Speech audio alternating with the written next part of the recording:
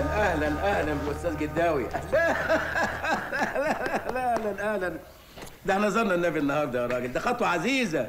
أنا مش جداوي بيه يا مرجان باشا. أنا سليمان. سلمان مين؟ مدير مصنع المكرونة. وإحنا عندنا مصنع مكرونة. مصانع مرجان بتاعت سيادتك. أنا مديرها. آه الجداوي حضرتك. أهلا أهلا جداوي معلش بقى العتب على النظر. اتفضل عندي في المكتب جوه. لا معلش عشان أخلص شغلي هنا. يا راجل أنت التكييف هنا أصلا مش مظبوط. التكييف عندي أحسن. اتفضل. اتفضل يا راجل. هات الملف ده. لا معلش خلي الملف ده معايا. اتفضل حضرتك اتفضل. أهلا أهلا أستاذ. اتفضل يا أستاذ هو اسمه إيه؟ جداوي حضرتك. اتفضل. أنا ما بحبش قعدة المكان اتفضل هنا. أهلا وسهلا أهلا بيك شرفنا حضرتك.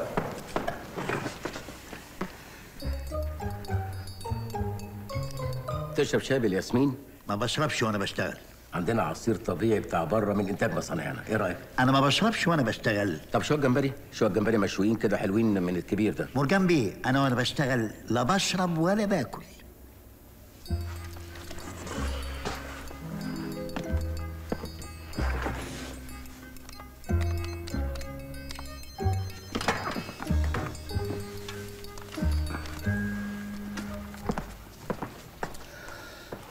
عشرة. وعشرة يبقوا عشرين ألف جنيه. إيه ده؟ أنت بتعمل إيه؟ لا لا لا ولا حاجة. أصل أنا دايما أحب أراجع الإيرادات بنفسي. الباشا ساكن فين؟ في السيدة زينب. شلاه أم هاشم شلاه أم هاشم أنا دايما أصلي جمعة هناك. بس السيدة زينب ده حي جميل. فيه روحانيات كده وحاجة جميلة الحقيقة. دلوقتي إحنا قلنا 20 وادي 20 يبقوا دلوقتي 40 ألف جنيه. ملك ولا إيجار؟ إيجار. أم هاشم دي بتعة. والله بتعة. يا سلام على ده حي جميل. أم هاشم دلوقتي إحنا قلنا 40 وأدي كمان دول يبقى كده إيه؟ 60000 جنيه. 60000 جنيه. عندك أولاد؟ ستة. كان الله في العون يا راجل. كان الله في العون. ستة. لا حول ولا قوة إلا بالله. ستة. يبقى إحنا قلنا كده آه يبقى آدي ستين ألف. ستين ألف جنيه. كده يبقى إيه؟ ستين وستين مية وعشرين ألف جنيه. بيدرسوا؟ عندي واحد في الجيش والباقي في التعليم. أنت بطل. أنت عظيم.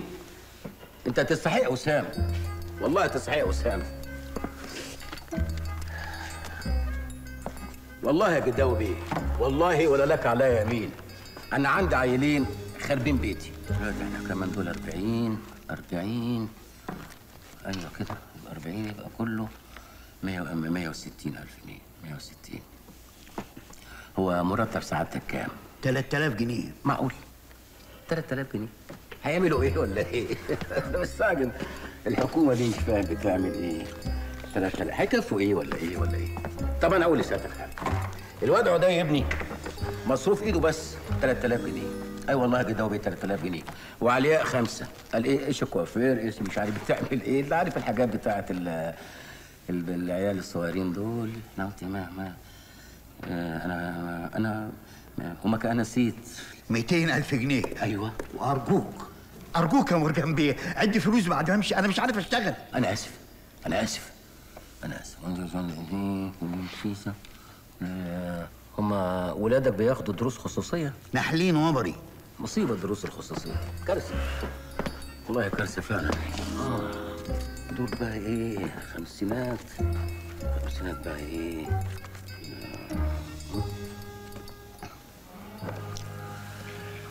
أنت لازم تحط لكل عيل وديعة في البنك.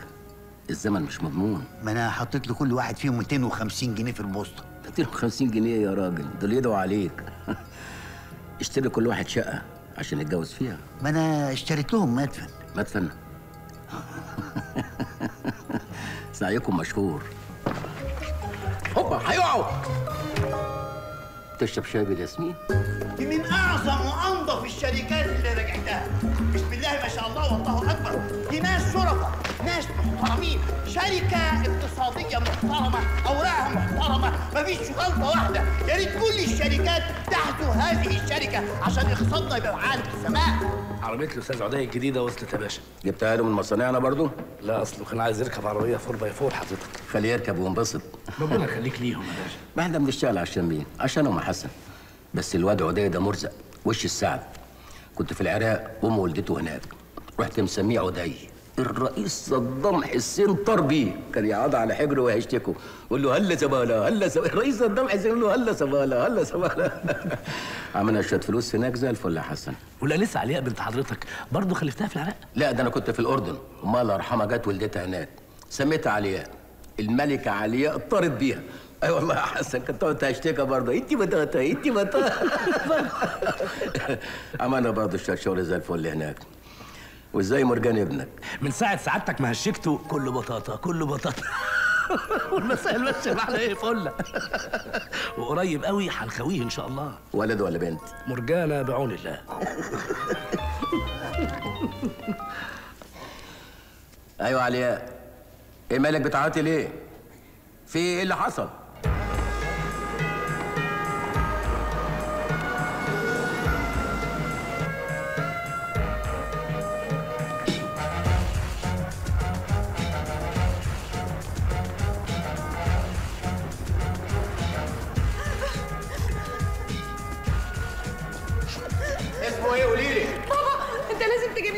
أجيب لك حاجة؟ ده إيه؟ ده أنا هقفل الجامعة دي خالص. فين رئيس الجامعة دي؟ إيه ده بس يا أنكل عميد الكلية موجود وبيتكلم معايا. وأخوكي فين؟ بكلمه على الموبايل مش بيرد.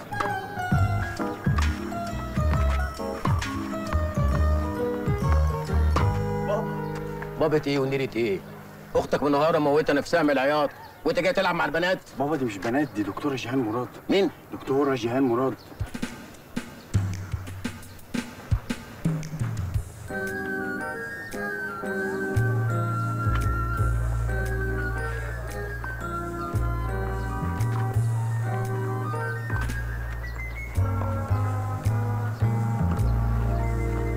مرجان أحمد مرجان بابا يا دكتورة فرصة سعيدة جدا يا دكتوره يا أهلا وسهلا. بابا إيه اللي جاب حضرتك هنا؟ عشان أنا ابن حلال وام ده عيالي. بابا علياء مالها؟ عليها مين؟ علياء أختي. آه صحيح. واحد دكتور رزل هزقها قدام زمايلها وطردها من المحاضرة. القمر يرضيك كده برضه؟ نعم. قصدي يعني يرضيك اللي بيحصل آه، يا أختك اسمها إيه؟ علياء. عليها آه. بقى أنا ادخلها جامعة محترمة وادفع لها فلوس قد كده عشان البنت تتعلم ولا تتعقد. واحد دكتور يقول لها انت فاشلة ما تنفعيش في أي حاجة؟ ها؟ اسمه إيه الدكتور ده؟ فاكسل. إيه؟ فاكسل. مايكل يا دكتور. إيه آه. مايكل. تاني الدكتور مايكل؟ طب علياء فين دلوقتي؟ عليها مين؟ علياء بنتك. آه آه هي واقفة هناك ومقطعه روحها من العياط. اطمن يا أستاذ مرجان أنا مش هسكت. أنا هغير هدومي وهاجي لحضرتك على طول. ليه؟ ما, ما كده حلو. قصدي يعني عشان نلحق نلحق البنت هناك. يعني. أنا من بكرة هعتصم لهم في الكلية. الموقف ده لا يمكن يعدي على خير. آه فعلا. لازم كلنا نعتصم. هي مش الدكتوره هتعتصم برضو؟ آه. أنا هعتصم معاكم. دكتورة إيه دي يا ده قضيه civilization يا بابا. مين؟ civilization يعني إيه؟ يعني حضارة. حضارة آه، حضارة. هي فعلا أنا أول ما شفتها لقيت عندها خلفية حضارية ممتازة. الست بتتعرف على طول من خلفيتها الحضارية. حقيقة يعني. اتفضلوا معايا أيوه علياء أيوه حبيبتي. اهدي اهدي إحنا جايين حالا أهو. إحنا آسفين جدا. قومنا حضرتك من على التنس تعبناكي معانا وربنا قدرنا على رد جمايلك. جمايل إيه بس؟ إحنا أي خدمة في أي حاجة. يعني علياء بنتي من النوع النفساوي شوية. أي نسمة هوا تأثر فيها. رقيقة كده زي حضرتك كده بالظبط. تصوري ساعات تبقى نايمة تقوم مفزوعة من النوم وتقعد تعيط ويجي لها رعشة. أروح حاضنها على طول. واقعد املسها على شعرها تهدى وتبقى زي الغريبة أنا بديك صوره بس يعني زي برضو حضرتك ممكن تكوني متضايقة ويجيلك رعشة أروح حاضنك على طول واقعد املس على شعرك هتلاقي نفسك زي الغريبة بالظبط بد- أوداي. بديك صورة يعني مش بابا، يلا. يا ابني بكلم الدكتورة بتاعتك هي أختك هتطير Sorry, Dr. Michael. You don't have the right to speak to her that way, even if she has a different opinion from yours. She always disagrees with my opinion. She's a troublemaker. Calm down, please. We are not here to fight.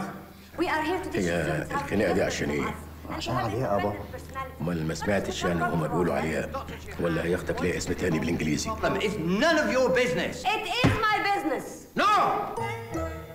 أنت بتقول نقول إيه؟ أنت مالك أنت؟